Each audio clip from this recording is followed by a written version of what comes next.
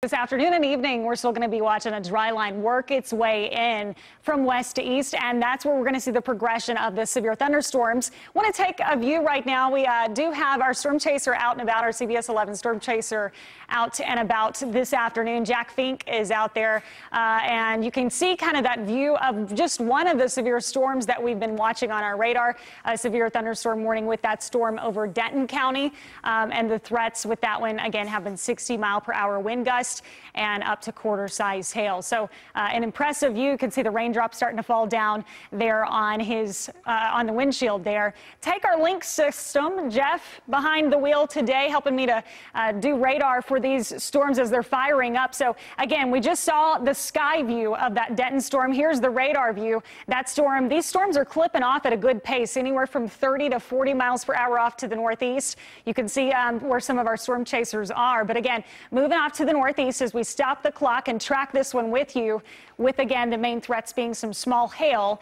Thunderstorm, severe thunderstorm warnings will continue anywhere from about 4:30 up to 5 o'clock stretching from up towards Sherman and then down again towards Tarrant County, where we do have a severe thunderstorm out as well. The threats with that one also 60 mile per hour winds and quarter sized hail. And then Johnson County, our latest warning, warning with that storm until 515. So tracking this with you, if you are um, in Tarrant County, who's going to be in line for this storm and when? Uh, looks like we've got Lakeview, 420 or so. And then uh, closer to Keller, just after 445, that storm will be headed your way.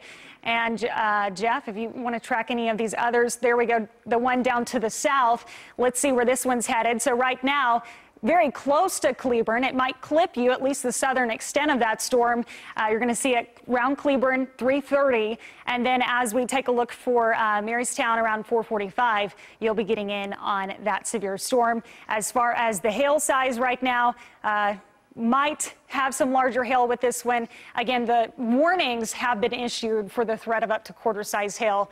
Perhaps, though, we see some larger hail out of those, and that's something that we will be keeping an eye on. But Joshua Keene would have the best threat to see some very large hail out of that. So, again, right now, it's really just this messy line of severe storms, and they're all ahead of the dry line. I want to flip back over to Max 1 and show you what we're dealing with here. The big view here Dry line working its way towards I-35. Cold front still back off to the west. And then an upper level feature that's really driving this whole system is back off to the northwest. As we go on into the night, we will start to see this activity dwindle once the cold front comes through but it's all fair game, at least up into the evening, and you can see where those storms are firing up. Let's track the timeline with this activity. Metroplex, you're still under the gun as we move into the 5 o'clock hour. That does include back around Tarrant County, and then as we progress on 6, 7 o'clock, notice that the dry line gets taken up by that cold front late into the evening by about 8, 9 o'clock. I think we're seeing activity dwindle significantly and then on to Saturday. What a different day it's going to be for us. Back to some much cooler weather. It's going to be windy tomorrow. That sunshine will get back in here. Temperatures only in the 60s for tomorrow. Threats with these storms, we have again been emphasizing the hail threat. It looks like that will be our biggest threat, but can't also rule out a tornado threat. Certainly the largest threat for tornadoes will be off across extreme eastern portions of Texas, Texarkana, up into Little Rock. And then our hail threat is really a bigger threat with these storms that fire up. It looks like the heaviest threat is also going to be closer to Sulphur Springs, Tyler, Texas, and off back to the east. Moving on through the rest of tonight, look for those storms to diminish after the evening period. We do drop off quickly tonight. Overnight lows will be in the upper 40s. Looking ahead tomorrow, 64.